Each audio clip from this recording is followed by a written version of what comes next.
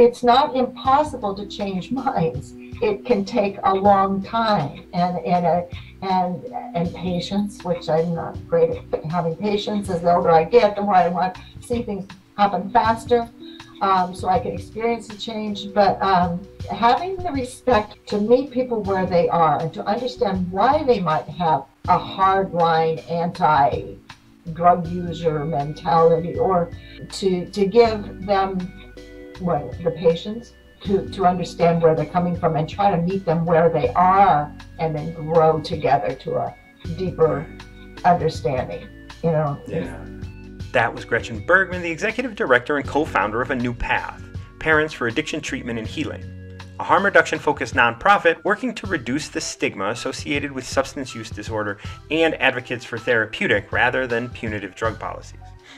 I'm your host, MartinJon, and you're listening to the Recover Yourself podcast, where we discuss topics you'll face while on a journey to recovering yourself. I'm all about expanding the conversations around recovery to include what it is we're recovering to. I'm interested in doing this so everyone has an opportunity to recover themselves. This way, no matter where you are on that journey, there is a place for you here. This conversation with Gretchen is one that was written in the stars. I say that because Gretchen and I happened to meet on a plane going to Virginia while I was listening to Maia Szalavitz's book Undoing Drugs, a book unbeknownst to me at the time that covers Gretchen's journey in some detail. We're here today talking about tough love. Well, really, we're talking about true love and how the tough love movement got in the way of that. I want to thank Gretchen and her entire family and team over at A New Path for doing the good work.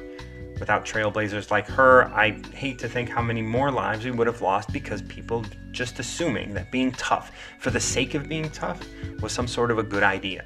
We have to approach everyone with love first, and then, if it happens to look tough along the way, well, so be it. Love is complex, and it's not always going to look the same in every situation. We have to understand that and think clearly with an open mind and heart so that we can allow people to be who they are, and that will welcome them to recover themselves as they truly are. Gretchen, thank you so much for joining me.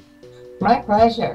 I'm, I'm, I'm so glad that we ran across each other the way we did. And um, a lot of my episodes recently have been dealing with uh, harm reduction. And your work at A New Path is some of the most interesting things like and it's right along uh, along lines of what I talk about because I do believe there were good intentions in the tough love movement in this mm-hmm. idea of like look sometimes love looks tough yeah yeah and the the problem I think about that is that as it translated from one person to, to another down the uh, down the telephone game what what happened was love that sometimes could look tough turned into toughness that was like trying to uh, take the place of love. Mm-hmm. And I would love for you to talk to me a bit about tough love and true love, as you like to say. Yeah. Well, you know, it took me many years of, of navigating these the murky waters of addiction with my two sons. Uh, both of my sons uh, started using drugs, I guess, at 13 um, which led them both down their separate paths. I guess they weren't using together in, in, in those early years, but to heroin addiction. And, and uh, for decades, uh, both of them struggled with that. And one was involved in the criminal justice system. He had been arrested for possession of, a pot um, uh, at 20 years old, which started him cycling in and out of uh, jailed in prison, etc., all for nonviolent drug offenses and um, and relapse, right? Uh, uh, dirty tests and, and that kind of thing. So that's what started my work was um, that I felt very strongly that that that we needed therapeutic uh, justice rather than punitive, um, treating people like criminals because they have a, drug problem, which ended up being worsened and exacerbated by the criminal justice system was was what we needed to do, and that parents needed to speak out. Uh, parents were sort of being blamed, like we are, you know, we are enabling, we are creating this problem, we're encouraging the problem, etc. So there was a lot of blame and shame going on with the families, um, and and I recognized that, you know, I'm not a perfect parent, but I loved being a mother. I took it very seriously, and I and I I, I, I adored of all the roles I, have had in my life, and, and I've had several, I, um, that I've enjoyed. Uh, the motherhood just fit for me. I mean, I was very organic. I nursed my children. I had them natural childbirth, all that kind of thing, which is kind of ironic considering and the, the drug issues later. Um, but but I, so I, as a parent, you are willing to do anything, anything to save the life of your child, and you watch your your your your child go down this path and and and and sort of giving up on all their potential and having their lives um, you know the future is diminished so and even their health diminished that that you know you you you do what the authorities tell you to do right? You try anything. And i tried tough love but for me it just made things worse you know when i um, uh, when I kicked my son out, out, he went to his father, who was uh, an active alcoholic. Uh, it, you know that it just kind of worsened the situation, and and um, but I but I was but I but I tried it, and then I realized the authorities, even the healthcare professionals, professionals, well intentioned as they may be, didn't didn't understand addiction. Addiction is a very thorny issue, and there are not easy answers, and one size does not fit all.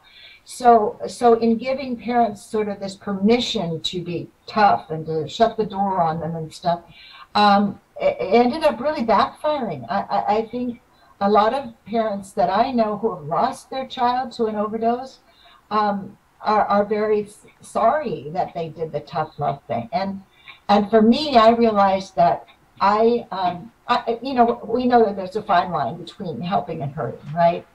But, um, but I think people took that tough love as being this kind of hard, hard ass approach to things, and um, you know, yes, kick them, kick them out, and, and well, I can't sleep at night knowing that my child is out there and could be, uh, you know, overdosing in the curb or whatever. So, th- so what we do now with our True Love, Not Tough Love, is encourage parents to to understand that they have rights too, and that everybody has to deal with this really excruciatingly painful journey um, in the best way they can for not just their child but also for themselves. And, and for me, that means taking back my intrinsic right as a mother to nurture and protect, right? So I, so for, uh, for me, when they were active in their addiction, if they called out and said, I need to come by and stay there, I don't have a place to stay, I would say, come on by, but you know, in the morning we'll have the conversation about where you can get help and how you will get help. It wasn't an, totally open ended. I always paid for their insurance because I knew they would need it when they, you know. So so everybody, uh, every parent can can determine what's best for their situation. You know, it, I didn't experience any of the violence. Of course, there was stealing because people uh, steal to get the drugs they feel they need to survive the next day. Um, so I wouldn't have accepted uh, uh, any physical abuse and I know that's that that happens for some parents. So again, it's it's just uh, it's talk, it's about respect for the parent. That's about their reality and their relationship with their child, their offspring. And I keep saying child. My kids are in their 40s. One just turned 50. So, but but they're my child forever, right? For life, you know. Um, so uh, so the, the true love, not tough love, is is uh, it, it's it's a whole concept of harm reduction. Tough love was not based on uh, co- tough love is really codependency, right? Mm-hmm. That, that, that whole codependent thing that was books and books were written about it, but it wasn't based on science or fact. It was an easy answer, I, I believe. So now we're debunking that whole theory, uh, and we're we're embracing more harm reduction, um, healthcare approaches, not criminal justice approaches to, to substance use disorders, um, embracing many pathways to recovery, um, embracing harm reduction, including uh, a lot of moms across the United States giving out Narcan to quickly mm. reverse an accidental opioid overdose. Um, and, and, and, the list goes, on. I can tell you more about that particular campaign, but that's the genesis of it. And it came from not just my experience as a mother, but but many of the other mothers in our Moms United to End the War on Drugs movement. Right, and there's so much that touches me. One, your kids started using the same time I did, um, and um, like I had a rush of just care when you said I keep insurance for them, right? Like, like how much harm are you reducing just by doing that? Right. Just by being like, no, you're safe. Mm-hmm. And it's Yeah. okay. You don't have to avoid the hospital when you need it, right? Because you don't know what where they're going to be and when they're going to need that. And that's something that means so much to an individual to be cared for in that way. And when and you also mentioned respect.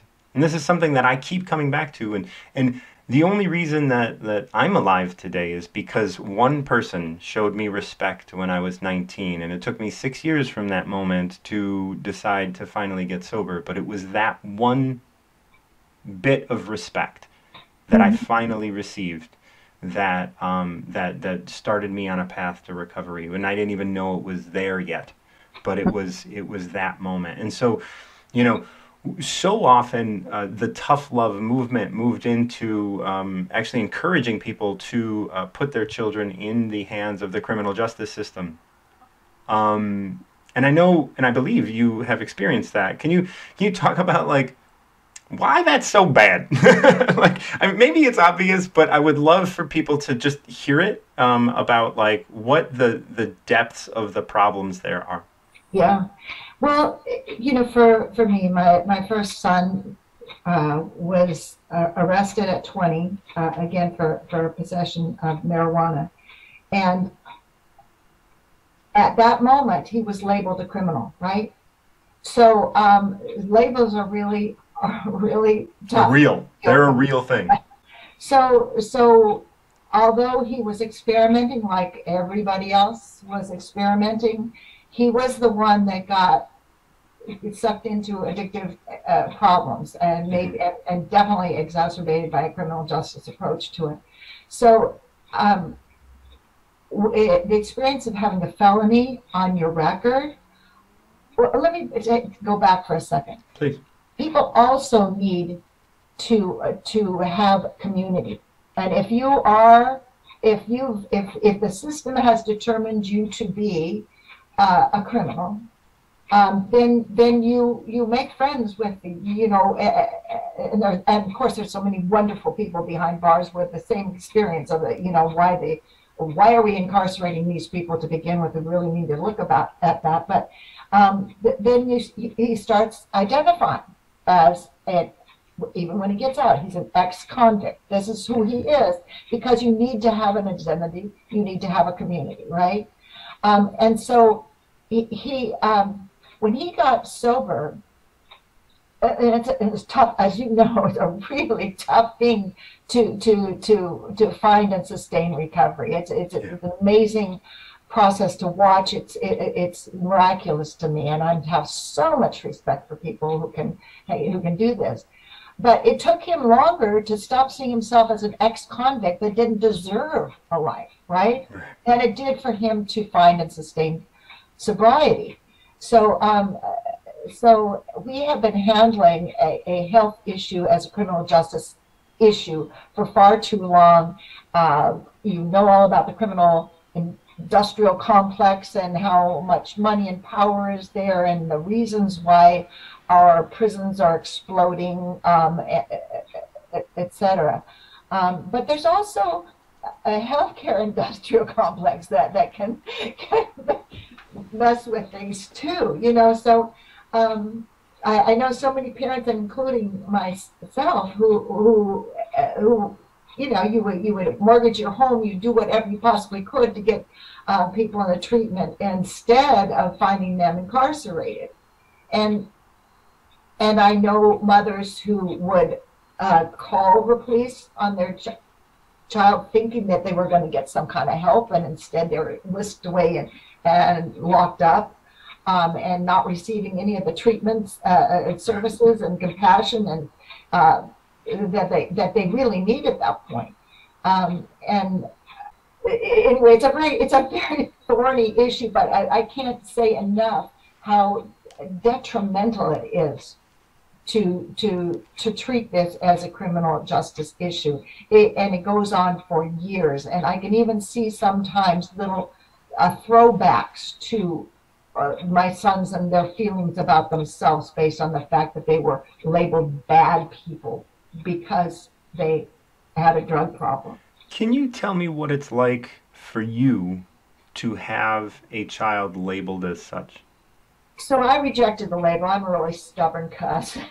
Good. after after really searching my soul as what what did I do wrong? What did they, and even asking my son behind bars, did, did I do anything to? Uh, and he looked at me like, this really is nothing about you. I know I was loved. I I knew my dad loved me. I I was lucky. This this is this is not you. And so I always tell parents, even though it feels like oh, what did I do wrong? Why are they doing this to me? Uh, they are not doing this to me. They are doing it to themselves and they can't help themselves. And they don't they don't wake up one morning and say, Hey, I'm gonna destroy my life and I'm gonna destroy my, my all my relationships with my family and friends and my future.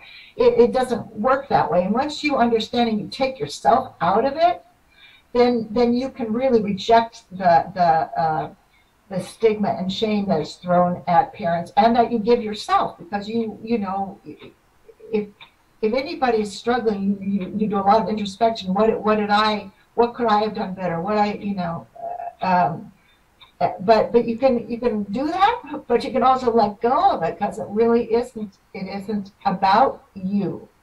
Um, it, it's uh, and your love and your compassion and your tolerance and your ongoing support is what they come home to when they figure out how to find their way.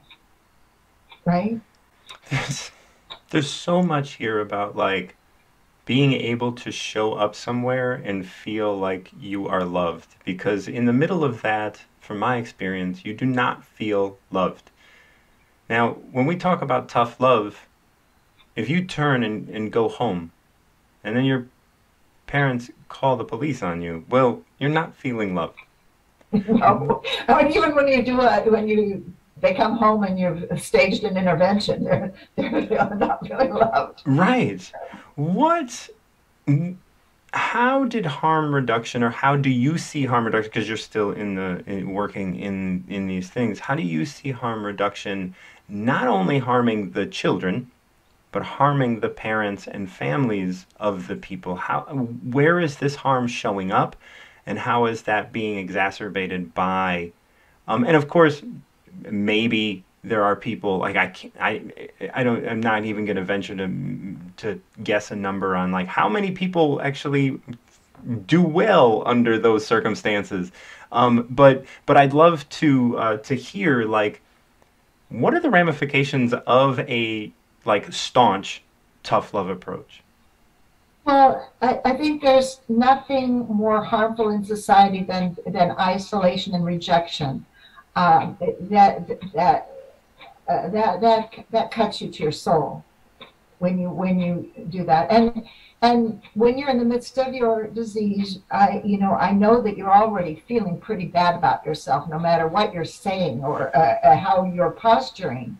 Right. You're feeling like shit and that you don't deserve.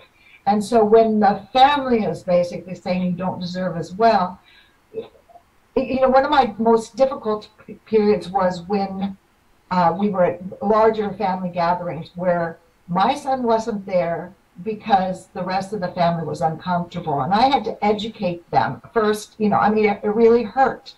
Uh, in fact, I'll tell you a really painful part of this, and I have to really go back many years, but my older sister is like a twin to me. We're really close. And she lost her son in a ski accident when he was 17. And um, and directly following that, my son started having all of his issues, and, and everybody was angry at him and didn't want to be around him if he was using and then um, that kind of thing, and didn't even talk about it. Uh, and then these this followed into the years when he was in, in, in jail. Now I'm at a family gathering thinking, uh, should I be here or should I be visiting him or where where do I belong?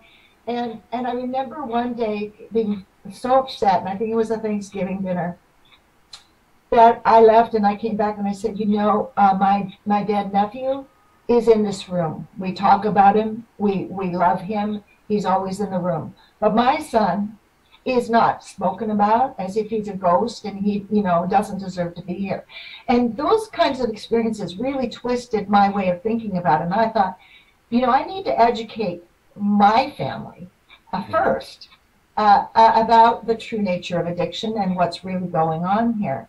Um, so, you know, that kind of a visceral response to your your your question, but it helped me along the road to um, the, the education and, and the advocacy and the stigma busting can start at the base level of your family. Uh, my husband's a, a, a, retired psychiatrist. He was still promoting the tough love kind of thing, and I, you know, I, I finally we got we got through. Uh, he has a daughter. It takes, it takes a while. it takes a while because he he learned it this way, right? right. And and that's what um, and he has uh, daughters with mental illness and just having those conversations about what is the difference you know you have a severely depressed child you're worried all the time that you're going to lose this child i have a severely addicted child i'm worried all the time that i'm going to lose this child. What is really the difference? And and and through the years we came to the same point of view with this. But you know misinformation as we well know in these days is you know it can be very crippling and it can be very hard to to to tease away uh, to the core of the issue so that we can shine the light on the truth of it right? Right. And and you know i was talking the other day about um, harm reduction in your daily life right you are doing harm reduction at a grand level most people are going to need to deal with harm reduction um, on where the rubber meets the road, kind of just like daily life. And mm-hmm. I was definitely I was I was talking about the idea that like when you see a homeless person, look them in the eye. Like respect goes so far. And by just looking away, and I'm getting emotional, but just by looking away, you are telling them they don't belong. You are telling them, and eh, I don't care if you give them any money, but just like looking them. Yeah. yeah. Yeah. I, I agree. And, and, you know, the more, when we first started doing the work on harm reduction, it was all about needle exchange, a clean syringe exchange, right? Mm-hmm. And I and I have to tell you, I was the mom that was like, oh, let's just stop this. Let's let's call the cops on the drug dealer until you realize that could just as well be your own child because it goes back and forth. Um, but I, it was a real education. I used to hide needles I'd find. I'd throw them away. Well, now I give them out. You know, yeah. if on Narcan, I give them because it, from I had to educate myself first, right? I, as a parent, I felt I needed to learn everything I possibly could about what my sons were struggling with. Um, so, so it took a while to do to, to go from hiding needles to giving clean needles to talking about if you're don't use, don't use, don't use, but if you do, leave the door open. I don't want you to die, and right. I, you know, don't don't lock the doors. So I have to break it down if I'm worried that you're you're overdosing it, it but it makes so much sense because because a person's got to know that again that there's a family that embraces them that the community that, that there's a future there for them that they haven't that there are second third fourth fifth chances i don't care. Right. you know it's whatever it takes to, um, to, to, to, to find your way back. And and you don't want to create more obstacles. Jesus there's enough obstacles already, you know, in the way. And and they're using because obstacles have appeared already. And it's mm-hmm. it has like the drug, you know, like I like to say like the system is diseased, not the people. You know, like the way that we've put people through the system, that's a like that's not that that hasn't been healthy for a long time. Now, every child is going to go through their individual like and need their own individual sort of program that a parent is going to have to go through. Now you went through two you had two children in which you wanted to help. So I'm sure both of them were different in different ways. Um, and every parent has to understand that that's going to be the case. And how do they navigate that, or how do they how do they even start to imagine navigating that when they start to see like, oh, this is happening? Yeah.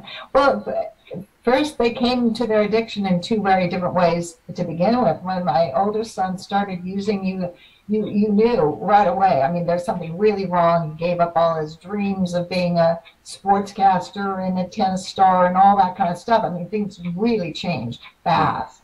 Mm. And and so, but my younger son, I think he was thinking, well, I'm not. I'm going to show that I I can use and not become addicted, you know. And and so he he did graduate uh, high school and went on to college and and while using, and I you call me a codependent, but I I knew he was, and I went ahead and sent him to sound engineering school because I wanted him to have an occupation to fall back on when he when he found his way, right? right. Uh, so um, yes, they're very they're different personalities, different different way, uh, different recoveries. One found his recovery through met, uh, methadone maintenance. One um, tried everything else, but found then the, the, at the end uh, the the abstinence and the and the twelve step programs. Uh, and I would say it's not the 12 step programs as much as it's the community now, finally, we have a robust recovery community. Stigma is still there, but it's not to the level that it was 20 years ago. Um, and more options for recovery, more acceptance, more understanding, more intelligence uh, about it. So um, it, they're both very different. I, I tell you that my my younger son, and this is where everybody was telling me to give up on him, and and I was starting to think that I needed to start planning you know, funeral, um, uh, to be blunt about it.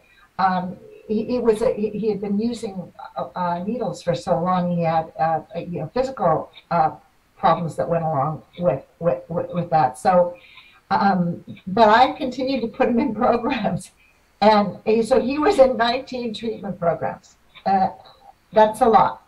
Yeah. Um, I, I I was giving a talk there. He was giving a talk with me, and I said I think he was in 14 treatment, and he says, uh, no, if you count the ones I walked right out of it, it was 19. And, but, and people say, well, well, how do you feel about that, all that money, all that? And I say, fine, I feel fine about it, because I, I believe that each each time he had a respite from using, and each time he was introduced to a new tool, uh, he put that together. It, it's like a jigsaw puzzle, one piece at a time, and and so he just needed more different tools in his toolbox and to finally find his way and the strength to, um, you know, to do it. And, and of course, you did it yourself. He did it himself. But but but still, the environment and the support system around it do play a part in it, you know. And um, and he found and encouraged the right support system that's last time. Um, yeah it's a it's a huge process for the individual and the tough love model um, that you know in which toughness comes before the loveness is is is really is really a uh, is is really backwards. And they have us in that model. They, there there is a there is a premise that if it's not tough it's not love. And um, that although how have you seen in your true love approach and the true love model that you talk about outwardly sometimes things can look tough. Mm-hmm. what what is the difference between when an action is being done that looks tough but is supported with a loving heart? Because i know this but is there a way for you to express this? Like i don't even know um, you know like like there is like i know when i talk to people with an open heart and loving i can never offend them right you, can tell the truth without offending because you're coming from that compassionate um, position um, well first off the word tough and love to me will never resonate. It just doesn't work. But there is such a thing as abiding um, even disciplinary love. It, it, when you know, and I, am talking about when your child is a child, not mm-hmm. necessarily adult, because there has to be some respect for them as an adult, uh, following their own journey uh, later on. But um, so when when we say true love, I mean, we we work so hard to find the, the verbiage. Yeah. Is it real love? Is it you know? And how do you say this versus uh, the love between a man and a woman or a, a partner? You know, but but but you know, ongoing, abiding love for a child does not mean that you're loosey goosey and will bend over backwards and let them just run all over you, right? right. It's, it, it's it, it does have some um, guideposts to it. It does have some a framework to it, you know. But but again, back to the respect for other people. I truly believe you have to you have to figure out what those goalposts are with those uh, uh, yourself. You know, I can't tell you, but I, what I can tell you to do is to to give yourself back your, to empower yourself as a parent to go back to your natural intrinsic nature as a mother as a nurse you know um, to, to, to, to find the answers that work for you and your child.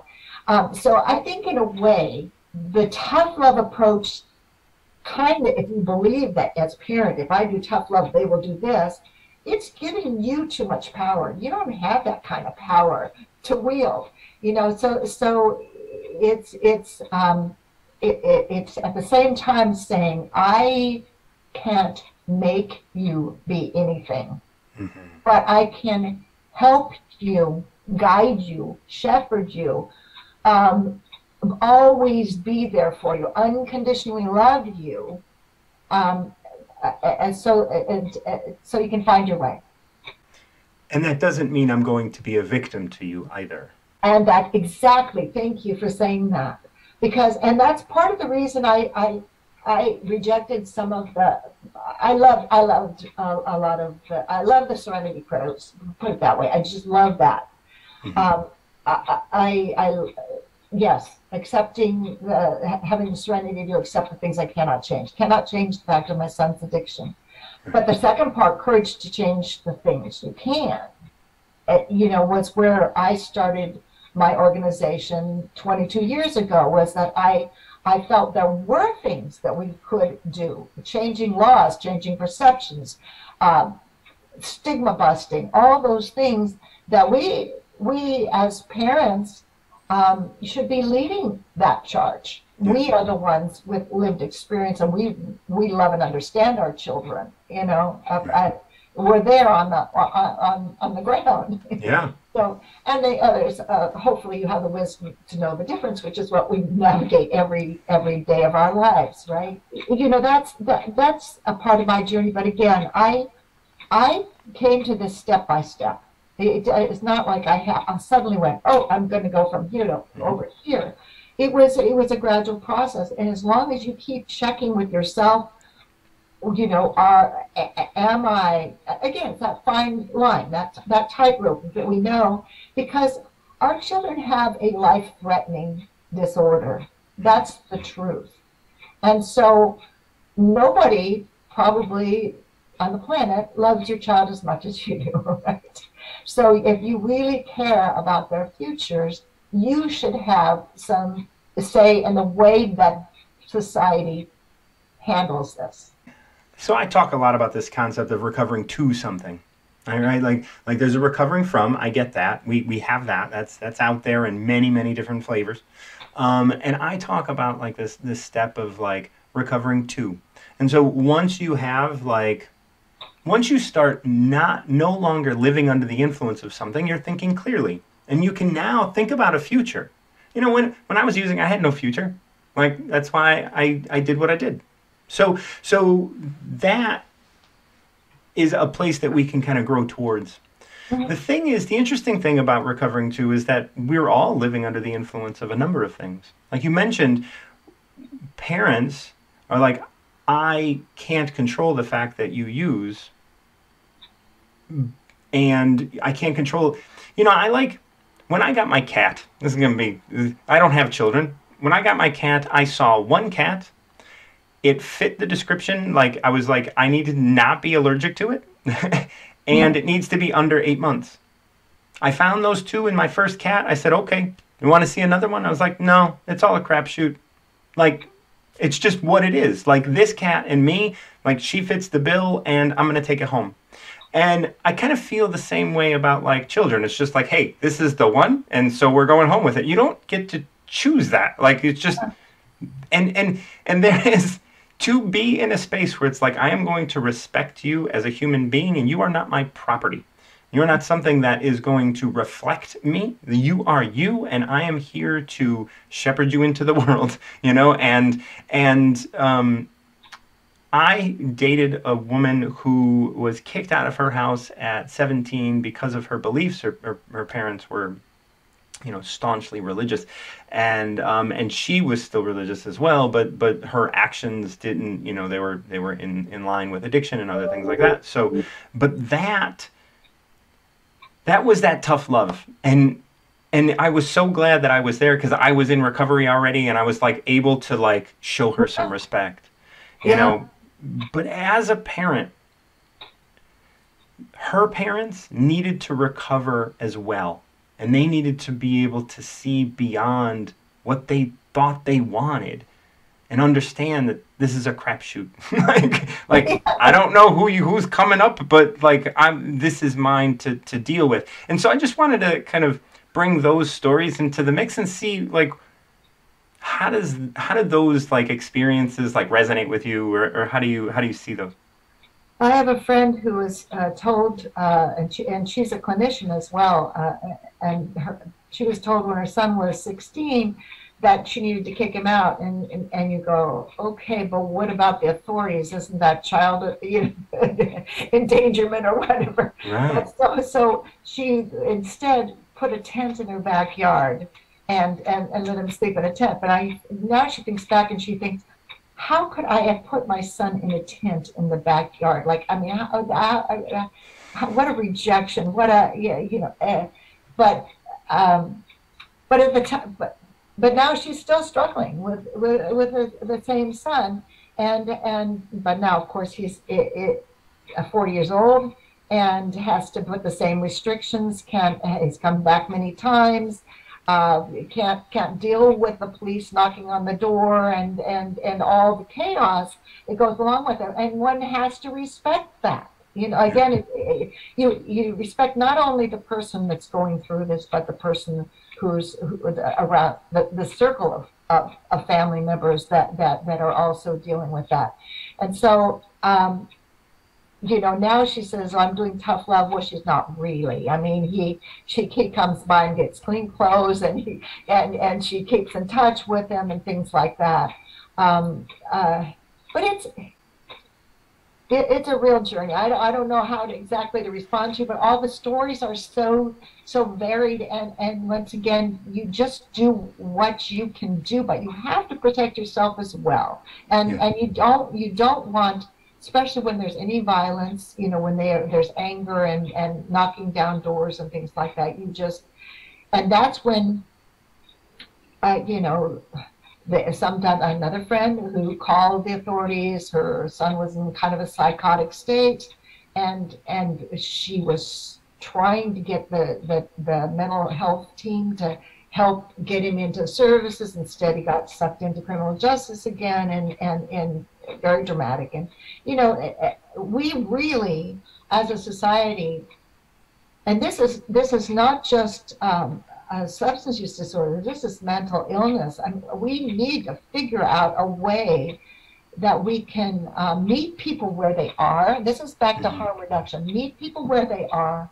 Offer them the services. Don't mandate or demand or push or shove as if they don't have any human rights but but to to uh, encourage, to persuade, to engage, to uh, present alternatives, um, you know, to, to, to, to keep people alive because you you know we're we're losing so many people on the, on the streets and, and, and, and to overdose and that um, that with services and support uh, could probably find their way to a meaningful life. Yeah. You know, I hear you say, like, I'm practicing tough love as a quote from your friend. And what, what rings true to me, and I don't know if this is true, but when someone says that, it sounds as if they're saying, and, and maybe you can correct me if I'm wrong, um, I'm I'm practicing something that I don't believe in. Yeah, yeah, and, and there are, there are coaches that will help you to practice tough love as well. There's a you know all these cottage industries that are coming into uh, addiction, um, and you know we. Do you remember the days when they you would call somebody and they they they kidnap your teenage child in the middle of the night and send them to a wilderness camp that was going to take them right. And, you know, years later, the studies are showing how detrimental that was as well the separation of family and, and community. And, um, you know, and then their adult uh, lives, they're still going to end up having the problems that they, they, they were starting to have then. It was maybe a, a problem delayed, but then exacerbated by the experience. The strength behind real, true love, right? Like, like we were talking, yes, it can, when I speak to someone from a space of love, they will never be offended. They will never be hurt because that love is, pre- is preceding everything and I am, and I'm approaching it with love. And in order to do that, you have to love yourself. Yes, that's a really good point um, it goes back to what I was saying in the beginning about introspection. You know, I'm willing to accept the fact that, that I'm a, a flawed human being, like we all are, right? I, I, for, for years, I, I tried to impart that to my my children. It's I don't care what mistakes you've made in your life. I've made mine too. It's what do you do with those mistakes and how do you move past them and incorporate that uh, that lesson, that experience into choices that you make in the future and the way that you deal with other people in the future, mm-hmm. right? Um, yeah, I you know a few minutes ago we were talking about uh, the powerlessness and power. Um, I, I think, and I told you I was stubborn, that I I never like to think of myself as a victim and I didn't want, oh, you poor mother, you, oh my goodness, and you now both of your children are in the, I didn't like that at all. I wanted to um, to use the knowledge that I'm like, boy, I sure am learning a lot about the criminal justice system. I'm sure learning a lot about addiction. You know, how can I take this maybe unwanted knowledge, but nonetheless knowledge I gained, and, and use it for the better? And it's a, the old concept of, of, of, taking lemons and making lemonade, right? right. But it also is, um, uh, I, do, I do not want to feel powerless. I, I want to feel my power to make change, need change. And I want to help other parents to feel that power to make needed change. And I want people in long-term recovery to feel the power of the tremendous change that they were able to achieve and impart it to the rest of the world, right? So it, it's about building power, not accepting that I'm powerless over this and that. I love that because you're right. Because as soon as you walk into a room that is, is that is filled with people that have accepted that they are powerless, they will not stand for you to remain powerful. Yeah, right. And and no no knock on AA like they they've done really great work whatever but um we we are we are moving into a time of understanding things a little differently. Right. moving into a time where, where our own love for ourselves has to precede, um, but we also have to learn how to do that because we haven't been, we haven't, we have very few signposts. A new path is one of them to mm. actually show us like you are worthy, even as a you know as we want to like look at even as a parent of somebody who mm-hmm. who is currently struggling struggling with substance abuse. Mm-hmm. Yeah. Yeah. Gretchen, thank you so much. I really appreciate your your your just openness to talk to us about this and and really like there is so much that we we have covered and and I just keep thinking like we've we've really touched on everything and it's like the parent and the child all have to find deep true love for themselves and that will be able to extend to others.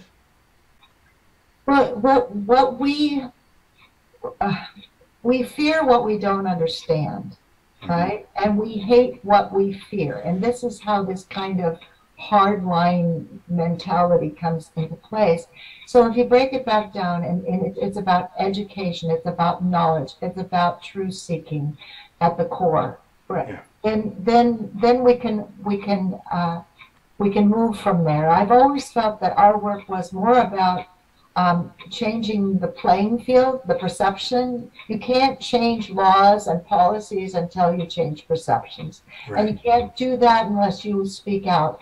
But like everything, you have to meet people where they are. And I'm going to give you a real quick example of that. M- my mother was a very strict person. She would have been just great with a tough love uh, approach to things. She would but, have been like, "This is my model." but she had three daughters who were not problem children. Right? well, know, so hey, that's that's probably why. But then when my uh, eldest son started having his problems and then uh, immediately going being arrested and, and, and she actually said, um, and my mother is not a was not a, a mean person, but, but and she was highly intelligent. But she said, well, maybe he's just the bad seed. You know, maybe this is just.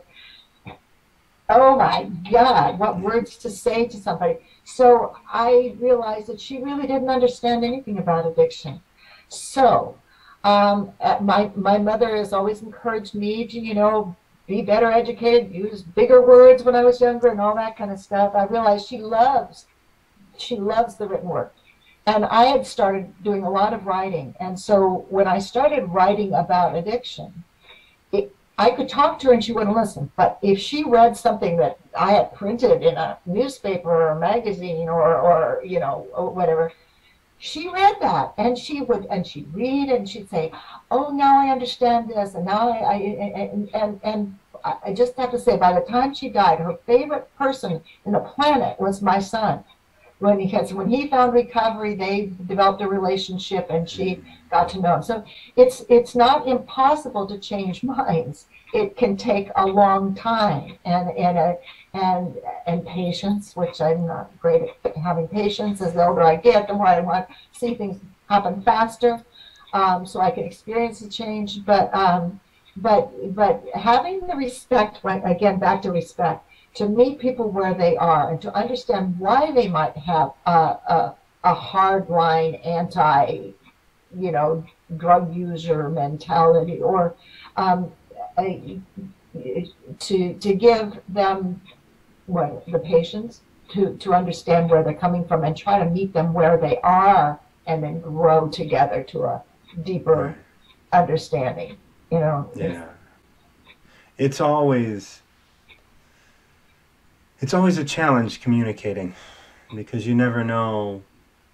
It's it's so hard to know where they are, and and it's so beautiful that that we can learn about this and be patient and and grow into a space of being like now there is more information. So the more the more we talk about it the we get to move the line closer right? We get to move the whole line closer. So now when we're meeting people where they're where they're at, they might not be as staunch to hold their line. Correct. And we're seeing that change happening all across the country now because because of the opioid overdose crisis. Um, again, now, now many pathways to recovery, harm reduction services can be talked about. It's not a, oh my God, they want to help her use drugs or whatever. It's yeah. not looked at that way anymore. Right. It's understood that it's something that works and it keeps people alive and and, and, and can usher them into treatment and recovery or, or, or recovery without treatment. It doesn't matter to me how you. Right. You know, like there's all sorts of ways to recover. There's all sorts of ways to do things. And, um, and, you know, I always look at the idea that like you can, the only thing you can measure is someone's abstinence. And that's one of the biggest problems with the, the, the way the treatment centers are currently. And and, and, and and how parents are encouraged to test their children and other things like that. Instead of oh you know he's rebuilding relationships he's got a job he's doing you know uh, uh, uh, that's what our measure of success should be. I, so right. uh, yeah and and they used that for years uh, uh, the healthcare industry that oh i have 100% success rate for how long? I mean, they're not following them a year later, so that right. don't know whether as long as we stop following them, we still have our percentage, right? And yeah. then we can keep getting those same people in and out the door, so that mm-hmm. we can keep getting that insurance money mm-hmm. or parents' money, and and that's the you know healthcare industrial complex that you mentioned yeah. earlier. Yeah. And and it's a it's vicious. Yeah, unfortunately, we still have a long way to go. That's right. And and and we're here going. Yes. So and I'm and and and I ain't tired. well,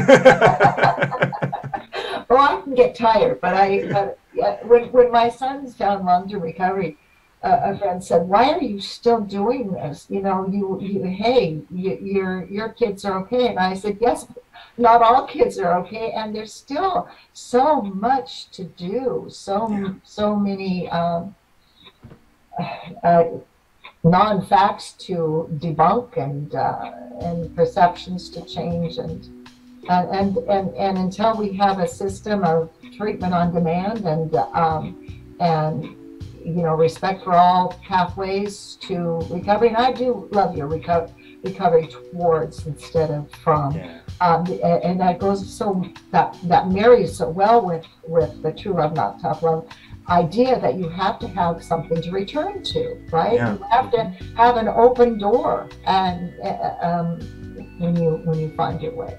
Yeah, and even you know like even if you're not the one like recovering from, like to have to make sure that you have an open door for those who are out there, like like it's not going to be easy, but it's it's not it, it's not happening to you. You know like this is just your life now and and and understanding that there are things i cannot change. Mm-hmm. but i can change how you know like how i bring it in. I can change how i present myself in terms of like what that looks like and i can change how things progress from here. Absolutely. Yeah. Gretchen you are awesome. Thank you so much. I'm so glad we met in this serendipitous way. It was, it was, it was really quite extraordinary. So yeah, I, I I am floored by it. It's a story I tell often. Um, your name has like everybody knows who you are in my life. so so it should uh, it, it if that pleases you. it does. It does very much so. Thank well, thank you so much, and I and uh, I am I'm looking forward to continue staying connected and um, to, you know, do more together somehow. Yes. You can find links where you can connect with Gretchen and a new path in the description of this episode. Please rate and review this podcast and or leave comments for this episode to help me better create helpful content. Support this show at anchor.fm or support me and my work at Patreon where you will get access to unedited content as well as writings and access to supporter group portrait sessions with me. I host workshops regularly, which are both open to the public and are a source of continuing education units for professionals. I also take a limited number of one on one clients every month, so contact me when you're ready to work together through martinjon.com. I also accept financial support through Venmo at martinjon underscore Garcia. So if you benefit from this content, please consider supporting my efforts. If you're in Chicago, you can work with me in person at Satnam Yoga Chicago, but if not, you can connect with me on the Wisdom app for both content and mentorship. Thank you for listening to the Recover Yourself podcast, and until next time, keep recovering yourself.